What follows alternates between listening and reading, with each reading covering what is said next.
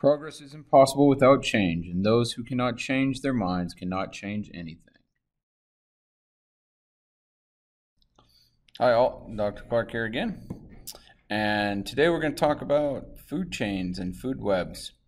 Most of you are somewhat familiar with food chains, um, maybe even food webs you've been experienced or have some experience with. It's taught to you when you're pretty young, maybe first, second, third grade, somewhere in that range, um, is where you first get uh, exposed to what a food chain is or what a food web is. Now, what I'm going to show you today is that food chains and food webs are often not used very well until you get into high order ecology, where you in- include everything that could possibly be part of that food web. Okay, so let's just look at this kind of food web. This is not really a chain because it has more than one group in each spot. So this would be a, a very simplistic food web you can see here you have some primary producers. You got, um, well, actually, I'm sorry, you have no primary producers, which is an issue kind of with this food web. Is we should have a layer that's you know underneath this uh, that would be dropping maple leaves, that would be dropping dead leaves of other species, dropping rotten wood, etc., to supply these organisms that are going to be consuming that decaying material. These organisms would be called detritivores that would be consuming that material. Now, obviously, if this is a detritivore food web, then there's no need to put the primary producers in, but you also are missing a lot of other things. When you make assumptions like many species, well, each one of these leaves whether it's coming from a maple, an oak, an elm, whatever it, it is, it will have different chemical properties, and you know the leaf might be broken down faster by one group of isopods then it would be broken down by another group of isopods. So that's you know another reason why this food web's not complete. But at any rate, these arrows are showing the direction of energy. So energy is being broken down by things like bracket funguses and bacteria and archaea, other types of funguses that labeled here puffballs. Okay, so the log itself, the energy in, in that log, the carbon, the nitrogen, the phosphorus, these elements, along with any leftover carbohydrates and things like that, are being broken down and re- reutilized as energy for these organisms. Same thing over here with decaying dead animals, etc. You're going to have some of these organisms that would be consuming that. From that level, it shows the energy going to another group. Okay? So you might have earthworms that are eating up archaea. You might have millipedes that might be consuming, you know, different types of fungi, etc. And then here you can see that we're jumping that insect group okay, because these are invertebrates, okay? pill bugs and maggots, which is just mainly means fly larvae, and crickets. It's jumping straight to vertebrate level. Now that's not that's not normally the case. You'd have more layers of invertebrates here, invertebrates that would eat um, insect larvae that would eat pill bugs or isopoda that would eat crickets. And you would have these guys eating these guys directly and the individuals that are in between. Okay? Then you have this vertebrate group that are eating different types of detritivores, different types of insects. Okay? They're consuming that material. Mind you, that a lot of these organisms would also possibly consume living material like in the form of primary producers or plants. Okay. And then that level is being consumed by top tier predators. Okay, so if we look at this, again, I said this is a very simplistic food web. It's nice because there's pretty pictures on it. It's nice because it's easy to recognize what's eating what, where's the energy flowing, in what direction. Right. Um, the other thing is all of these organisms should have arrows back down here because they're all going to die at some point. So they're all going to be dead organisms at some point. See, even these guys and these guys, and you know the the other uh, fungi and stuff like that. They're all going to be dead organisms, so they flow back in. So what does it look like when you actually calculate every possible connection. This is what it looks like when you calculate every possible connection. Okay? So this is a marine situation where you're looking at the marine connection in a marine area, in an estuary, um, and you're looking at, well, in the border between an estuary and kind of open ocean. And you're going to look at the role that all these organisms play. So, you know, we have up here, we have like the great black backed gull. Uh, we have nothing consuming it, which still means that this doesn't, uh, this is not a complete food web because something could eat that great black back gull. And if it doesn't, then when it dies, it's going to reestablish material back into the system. But at any rate, you can see that this great back gull is not eating just one thing.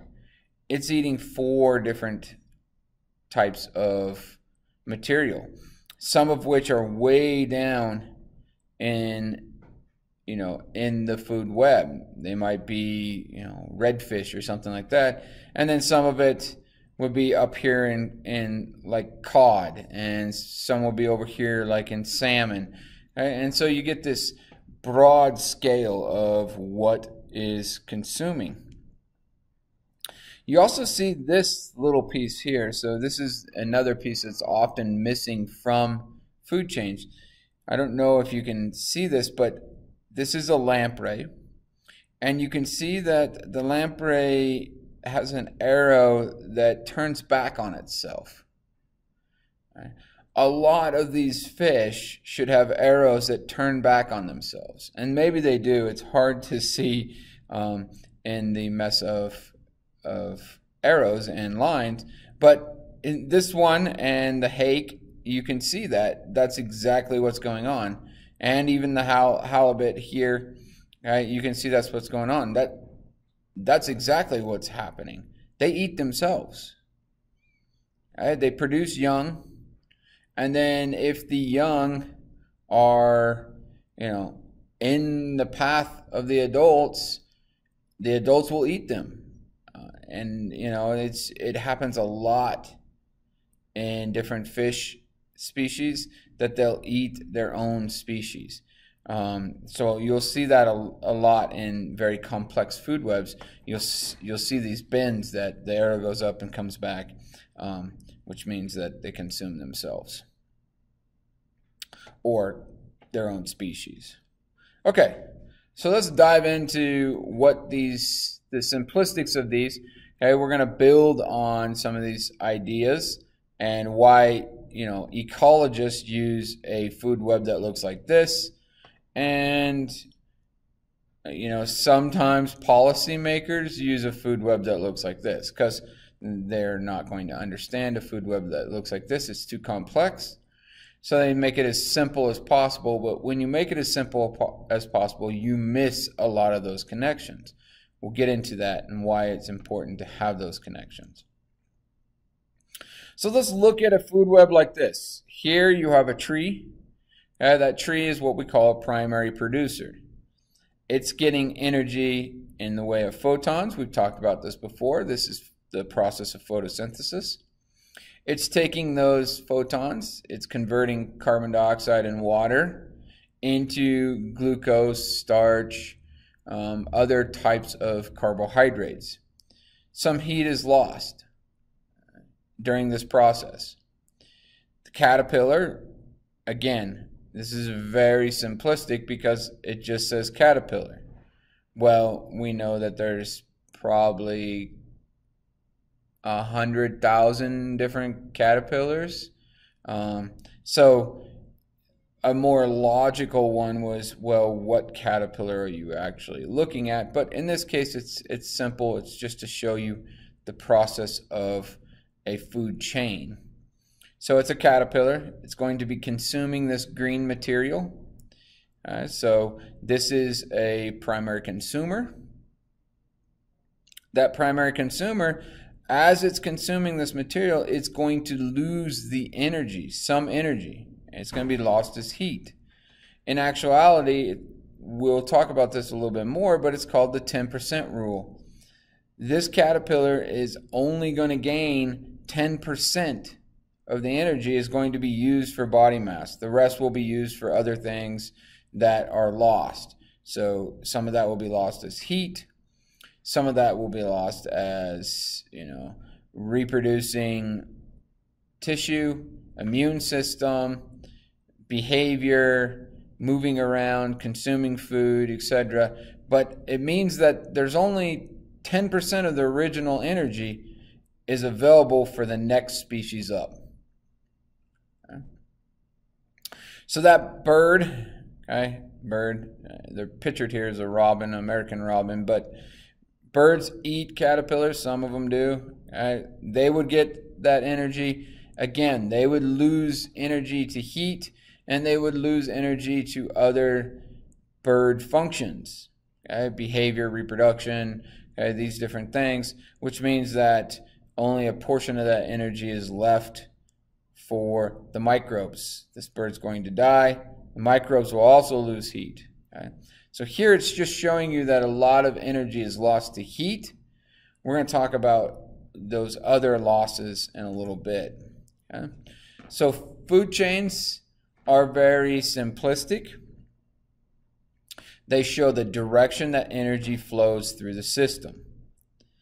Okay? They don't show typically they don't show you show you the specific species that are involved. It's just showing you the direction of energy that's flowing from the system. Okay. Often those food chains will indicate the trophic level. So what level of organism are they? Are they a primary producer? Are they a primary consumer, secondary consumer, tertiary consumer? Are they an apex predator, the last little bit? All right. So, and if you're an apex predator, it often means that nothing preys on you, and you die of natural causes or accidental causes, etc. But nothing's consuming you while you're alive. Uh, so again, food chains are simplistic. They're not species specific. They're not geared towards showing you what eats what, but rather where's the flow of energy. How many different consumers are possible in that ecosystem? So producers, like I was talking about before, sometimes they're called primary producers. Sometimes they're just called producers, and there can be a lot of different levels of producers. Uh, you can have producers that are only consumed by a portion of primary consumers, um, some producers that are consumed by just secondary consumers that also consume primary consumers. So it can be very complex in a normal ecosystem because you have a lot more species than just in what's pictured here is grass. Okay? But nonetheless, all producers have the ability to produce their own food.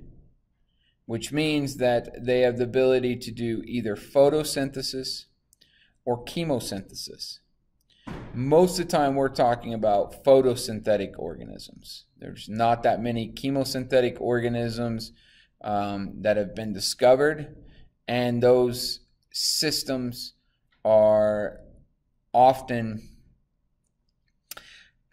happen within combination of photosynthetic organisms. So you might have a chem- chemosynthetic organism which is doing using chemicals to convert things like carbon dioxide or water into carbohydrates, but they're using chemicals versus photons. So they occur in a region where there's no light. They might also be coupled with organisms that are moving up and down in the water column that are primary producers that use photosynthesis to um, convert carbon dioxide into carbohydrates. We'll look at some examples of this. I don't want you know to bore you with all the details right now. Consumers ingest other organisms. So again, primary producers are what we call autotrophs. Right? They make their own food. Consumers are called heterotrophs. They consume other organisms. Okay? That could be that they consume primary organisms in the form of er, herbivores. Okay? They could consume secondary, tertiary organisms and be considered carnivores. They could consume both, which often happens, you consume both primary producers and secondary, primary, some other consumer, and that makes you an omnivore. You eat both primary and um, secondary or, or some organism that eats primary. And then what's often missing from a food chain is the part that's considered decomposers, which decomposers can break down dead or decaying tissue at any level. So even though there's not an arrow showing from the primary producer here, fungi can break down primary producers, primary consumers, secondary consumers, tertiary consumers, apex predators. Okay, fungi come in and they can break down at any of these levels, they can consume that material. Okay, and it doesn't doesn't just have to be a fungus. It doesn't have to be you know a fungus. It, it can be bacteria. It can be archaea. Uh, there's you know other organisms, invertebrates that lots of invertebrates that can break down decaying matter and enter in here. Um, you know, like worms would enter in in this level as decomposers. Uh, lots of other organisms um, can be part of that decomposition. I showed you at the very first scene isopods and even crickets and maggots and things like that could enter in as the decomposer in that trophic level. Okay, food webs show all of the food chains in the community woven together. Right?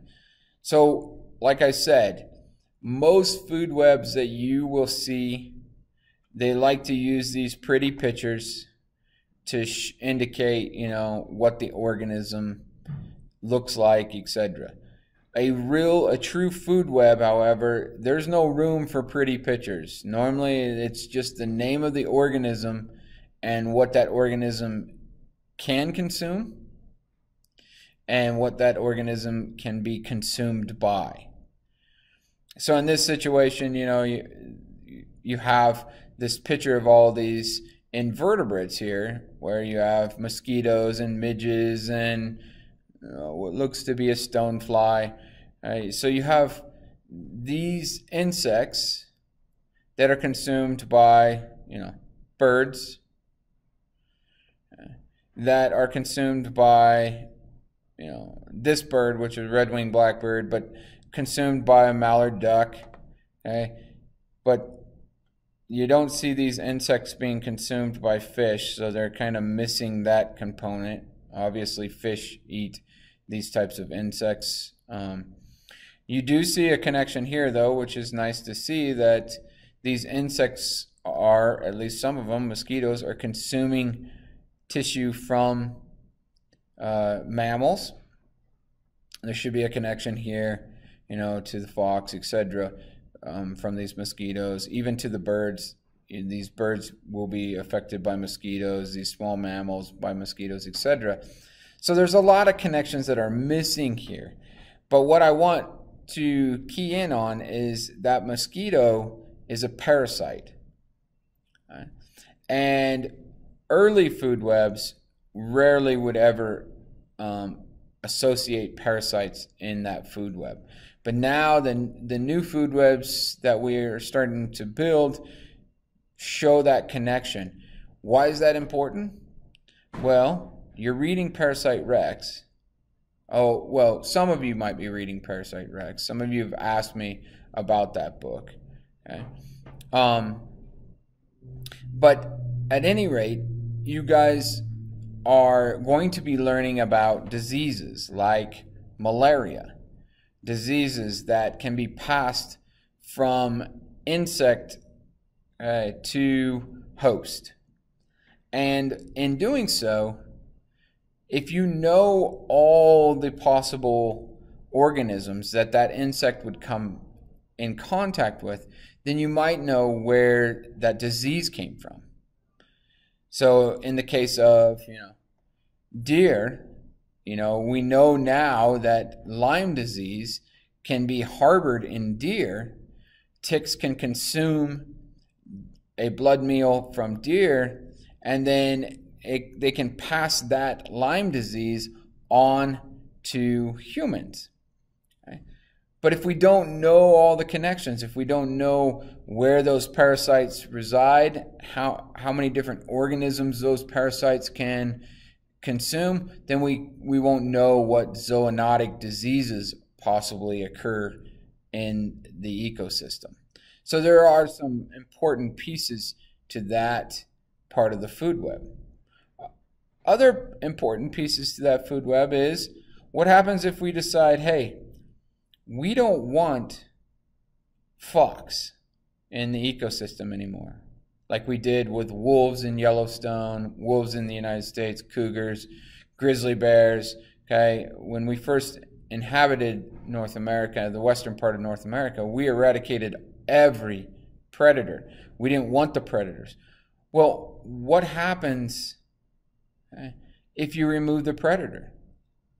Is it possible certain things might increase, their populations might increase by a lot? Maybe rabbits. We'll look at examples of Australia. Maybe deer. We'll look at examples of Yellowstone. Maybe pocket mice. Maybe there's these other organisms. Once you remove those predators, what happens to the organisms underneath? The pressure, the competition, the consumption is gone, and now these populations can increase. Well, if these populations increase, what could then be decreasing? What are these guys eating?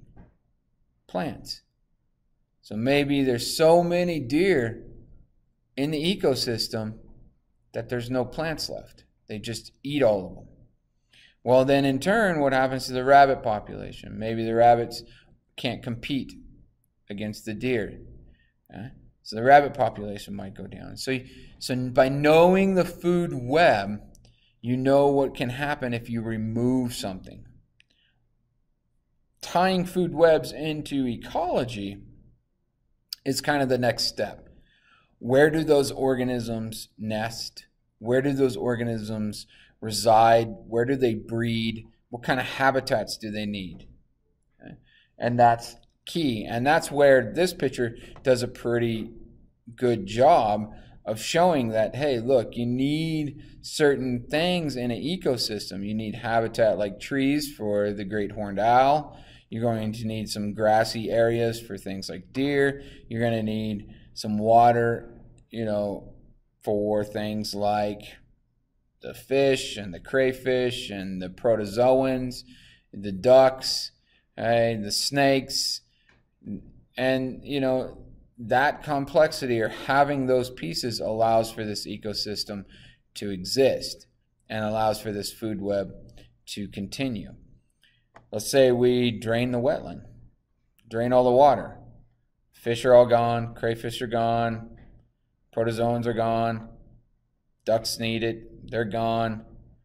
Snakes, most snakes, including this one, are going to be consuming possibly some of these fish other things. Um, okay, they're gone. Maybe these other organisms need to find a different water source somewhere. The mosquitoes are gone because they need the water to breed. So you really change the ecosystem if you drain the wetland, if you drain the water. Okay. What if you cut down the forest? Same situation. Now, what do you have? Well, the owls are gone, the fox is gone, uh, probably the deer, which is using it as shelter, is gone, and you've changed your ecosystem again. Okay? So food webs allow us to look at that as long as we look at it with information about where these organisms, what habitats these organisms need.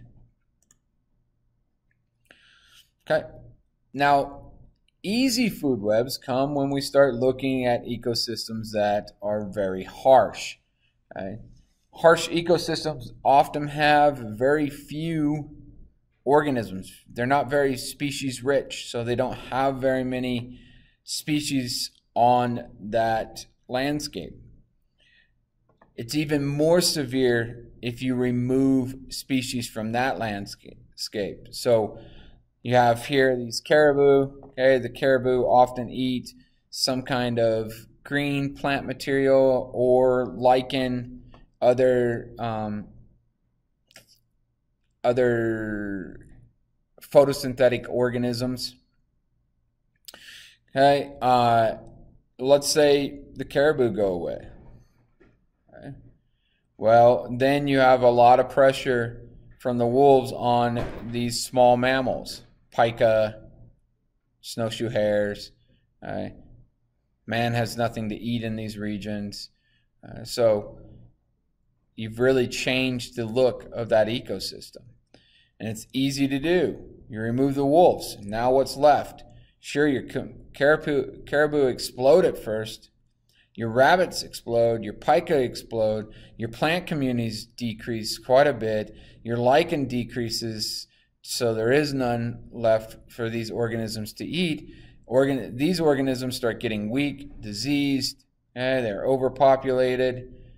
Man either has to eat a lot more of these and start eating more of these and more of these, or there's nothing left in the ecosystem. There's no primary producers and no energy being put back into the ecosystem. So you have these connections, and that's where food webs come in and show you those connections. All right, energy pyramids are important for understanding the energetics that go in to a system or the potential energetics that go in this system. Remember that we started stated the first law of thermodynamics which is energy is not created nor destroyed, it just changes form. The second law of thermodynamics is that energy is lost. In a system, it takes energy to maintain the system, and energy is lost as heat when you transfer energy forms. So when you go from one energy form to the next, energy will be lost as heat.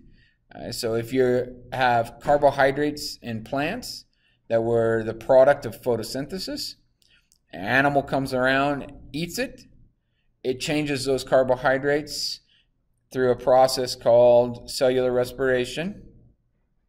It changes those carbohydrates into, well, first into pyruvate and then into acetyl CoA and then into a bunch of other intermediates. And each step of the way, energy is released right? because bonds are being broken. Some of that energy can be utilized, some of that energy is not, and it's lost to the atmosphere, lost to the surroundings as heat. This is called the 10% rule. So, this is an estimate. Okay? It's not always the case. Sometimes it's a lot less than 10% is being passed. Okay? Sometimes it's more than 10%. But the rule of thumb is that only 10% of the energy from one trophic level is available to the next trophic level.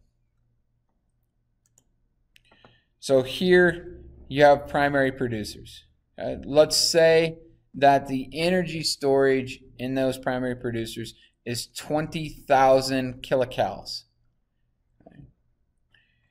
Insects, invertebrates, okay, small mammals will consume these primary producers. Okay? But only about 2,000 kilocalories still remain as energy. The rest is removed as heat or is utilized by these organisms for other processes that are not related to energy transfer. Okay? These organisms are consumed. Okay? Only 10% is allowed, so you go from 2,000 to 200 kilocalories. These secondary consumers are consumed by tertiary. Now only about 20 calories remains. And then the top predator, the apex predator, only gets 2 kilocalories from the original 20,000 kilocalories. This tells us a lot. And this is why apex predators, why things like wolves, grizzly bears, eagles, right? those are apex predators and their populations are really small. There are very few apex predators. Uh, so when you go to Yellowstone or you go to somewhere else and you and you want to see a wolf because you've never seen one in the wild, the odds of you seeing one is far less. There's far less of a chance of you seeing an apex predator than of you seeing an invertebrate or you know even a small rodent right? even secondary consumers, even tertiary consumers. It's these apex predators, their populations are low. For example, let's look at wolves in, you know, Wyoming, where you're most likely to see a wolf because of Yellowstone, or Montana, where you're, you're likely to see a wolf because of Yellowstone. Population in Wyoming, maybe there's 250 wolves in Montana, maybe 150. Okay. 250 wolves. That's it. Okay. The state that's got the most wolves and your best chance to see them is Minnesota, okay, with maybe a thousand wolves in Minnesota, maybe a thousand five hundred at at max. Okay. I mean, if we're talking about something like a primary consumer, I mean, just looking at ants, there might be a thousand ants in one yard by one yard spacing in Yellowstone or um, in parts of Minnesota or even parts of Arizona, wherever you're looking. Okay? So that's part of that rule. Now, the rule gets broken when we put humans in the mix. The rule is broken. We put humans in the mix. And we're going to talk about humans and their role on this pyramid because we are at the top of the pyramid. We have the capability, more so than a lot of these other organisms, we have the capability of eating down here at the bottom of the pyramid. If you consume material down here at the bottom of the pyramid, you're getting into that 20,000 kilocalories. If you consume material at this primary consumer, you're eating insects or small rodents and things like that, you're looking at a 2,000 cal- kilocalorie. Okay. So that's the importance of often when people are talking about how do we how do we change world hunger a lot of us need to be consuming at a different portion of the food pyramid or a different portion of the energy pyramid we need to be consuming more primary producers that's where the energy is at that's where the energy hasn't been lost to the system okay? and it's more advantageous as a as a apex predator, apex group, that's where it's better to feed. If we just feed at the top, uh, we can't support our 7.7 billion people or whatever we have on the planet, planet currently today. Guys, so again, heat is lost at each one of the steps along with other material, waste material, things like that. And like I said before, some of this energy is not available for consumption. Some of this energy just it, it's not going to be consumed from the primary producers or primary consumers, etc. It's not going to be consumed um, for a long period of time. So it might be bound up in this energy model for a while. Okay? But in that conversion, when they are consumed, that heat is being lost and that energy is lost with it. Okay, next time we're going to talk about natural resource cycles. And we're going to talk about things like the water cycle, carbon cycle, nitrogen cycle, phosphorus cycle, etc. Okay. Till next time.